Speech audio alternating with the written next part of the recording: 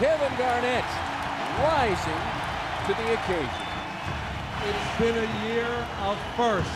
The first time that the Timberwolves had the most valuable player in the NBA.